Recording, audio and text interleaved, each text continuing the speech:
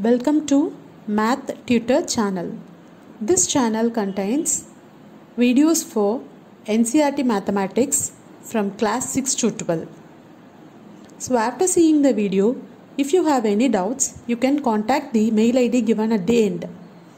If you want math tuition also, you can contact the mail ID and get the details. In this video, we will see NCERT mathematics for grade 10. Chapter 2 Polynomials. Next, we will see exercise 2.1 first problem. They have given few graphs as in the example 1 and we have to find the number of zeros in it. In the first graph, it is a straight line. But it is not touching the x-axis anywhere, so the number of zeros is 0.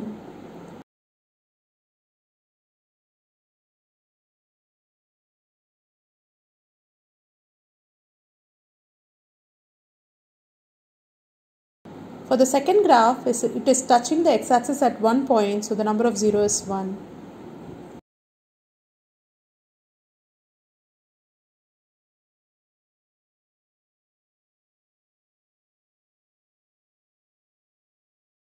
For the third question, the plot is touching the graph that is x-axis at 3 points, so number of zeros is 3.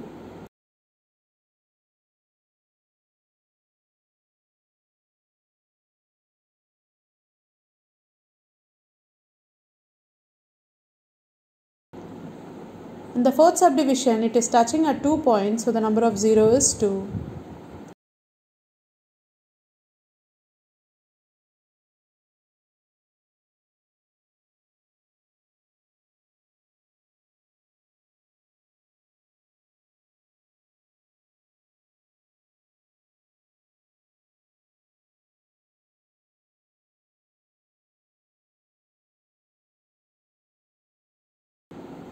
In the next subdivision, it is touching at 4 points, so the number of 0 is 4.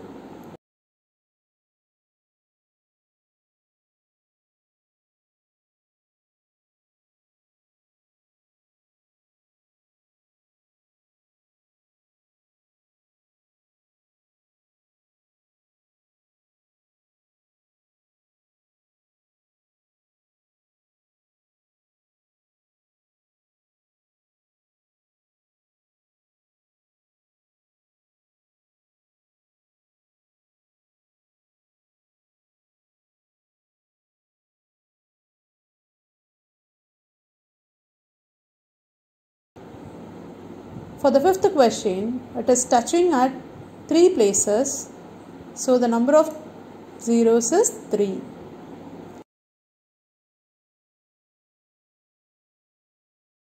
Thank you for watching this video. If you have any doubt, you can contact the mail ID mentioned this video in mathtutor1502 at gmail.com. If you want math tuition, you can also contact the same mail ID. The tuition will be taken in two languages. One is Tamil, another one is English. Thank you all.